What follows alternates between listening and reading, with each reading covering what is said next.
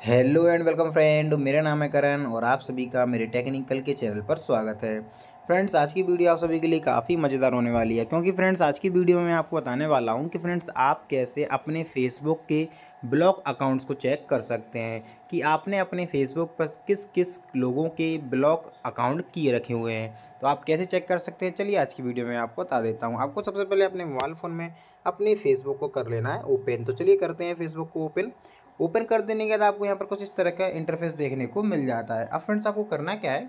आपको सबसे ऊपर राइट साइड में आपका जो मैसेज करते हैं आप जिस पे, आपको मैसेंजर के ऑप्शन को कर लेना है यहाँ पर ओपन देख सकते हैं मैं इसको यहाँ पे क्या कर लेता हूँ? यहाँ से उसको कर लेता हूँ ओपन ओपन कर देने के बाद आपको यहाँ पर कुछ इस तरह का इंटरफेस देखने को मिल जाएगा।